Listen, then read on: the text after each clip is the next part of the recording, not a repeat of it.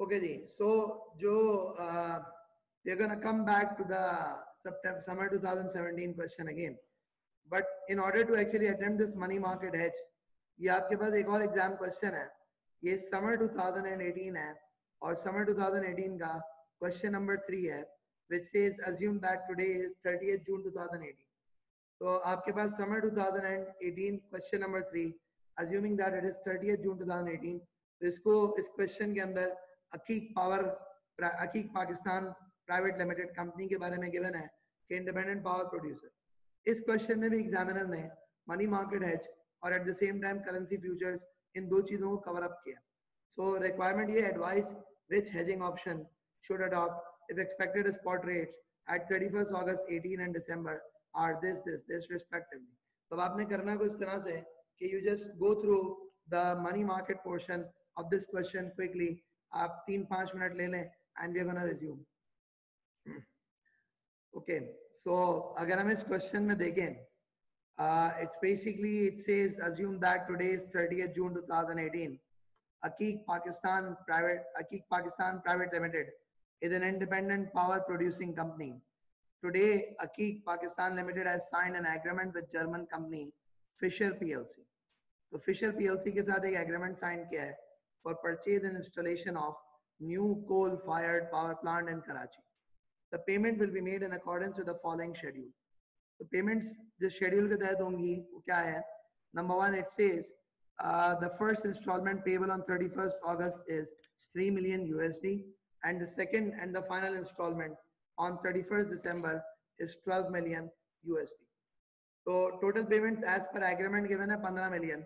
कह रहा है management wants to protect the payments against adverse movement management क्या कर रही है? मैनेजमेंट कहती है कि जी हमें एडवर्स मूवमेंट्स के अगेंस्ट प्रोटेक्ट करना है ना and is considering the use of currency futures and और money market hedge money market for hedging the following data are available क्या आपको क्या कहता है? कहता है आज का जो स्पॉट एक्सचेंज रेट है वो 116 है.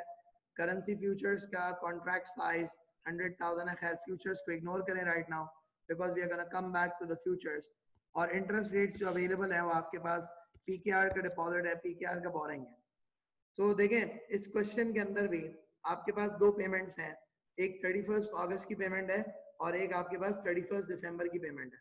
अगर मैं इस क्वेश्चन को थोड़ा सा सम अप कर दूँ तो यहाँ पे भी वही वाली स्टोरी एप्लीकेबल है कि हमारे पास क्या है we actually have to make a foreign currency payment तो अगर आपको भाई फॉरेन करेंसी पेमेंट करनी है तो आप क्या करेंगे आप फॉरेन करेंसी का डिपॉजिट क्रिएट करेंगे।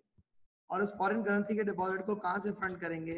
तो लोकल करेंसी की बोरिंग से लोकल करेंसी के लोन से आप उस फॉरेन करेंसी के डिपॉजिट को फंड करेंगे। So what is gonna happen is foreign currency deposit होगी लोकल करेंसी को बोरो किया जाएगा। That's what you will do now what next is there उसके बाद क्या होगा?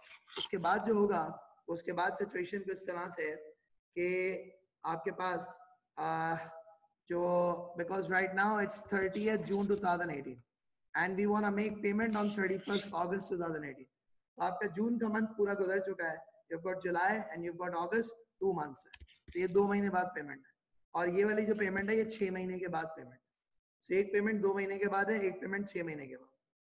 हमारे पास एप्लीकेबल रेट्स जो रेलेवेंट रेट्स हैं वो रेलेवेंट रेट्स कौन कौन से होंगे? तो आपका पीकेआर का बोरिंग रेट एप्लीकेबल होगा और यूएसडी का डिपॉजिट रेट एप्लीकेबल होगा फोर परसेंट सो अगर मैं इसको जरा क्विकली कैलकुलेट कर दूँ यार इस क्वेश्चन के अंदर how would the calculations go about so इस क्वेश्चन के अंदर जो आपकी कैलकुलेशंस होंगी those calculations are going to be like this okay which is question number 3 और ये आपके पास uh, summer 2018 है।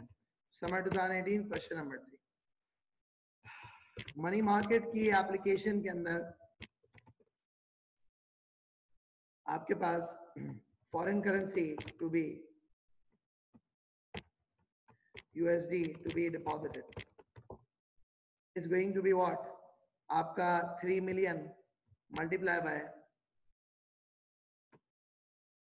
so the applicable rate is 4% अगर तो उस 4% को multiply by 2 upon 12 करें अगर आप 4% को multiply by 2 upon 12 करेंगे this is what it is going तो USD to be deposited आपके पास कितना होगा so USD to be deposited is going to be आपके पास uh, 3 million divided by one point double zero double six seven. So resultingly, अगर आपके पास USD जो आपने deposit करना है वो इतना है तो ये कितना हो जाएगा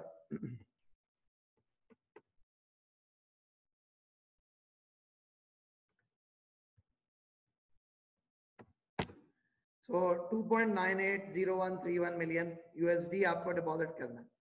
आप क्या करेंगे? आप कहेंगे borrow equivalent amount of local currency तो equivalent amount of local currency क्या होगा? 2.980131 को आप मल्टीप्लाई कर देंगे with 116 which is the exchange rate.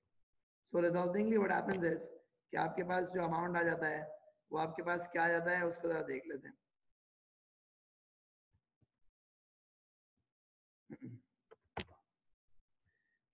So uh, 345 million PKR is what you actually need to borrow.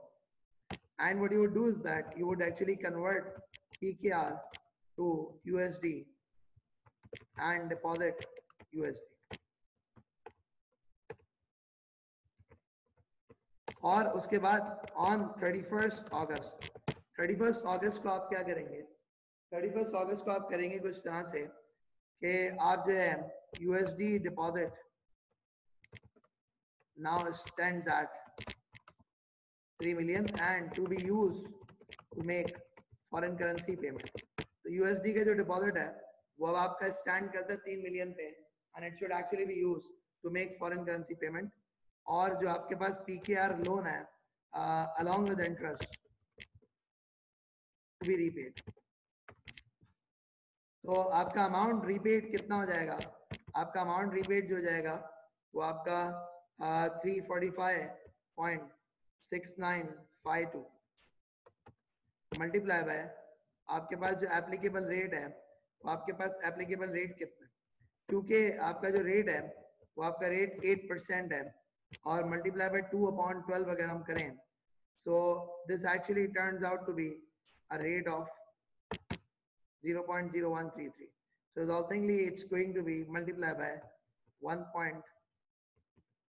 1.0133.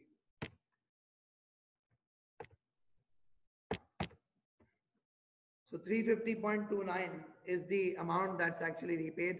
तो अगर हम इसमें बात करें तो we would say कि exchange rate जो हमने achieve किया है वो exchange rate हमने achieve किया है that is actually going to be what that is going to be 350.2929 divided by 3 million So 116.7643 is the exchange rate that we have achieved.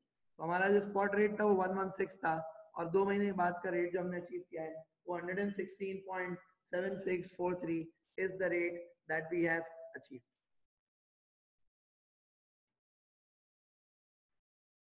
So that actually marks the conclusion of money market hedge.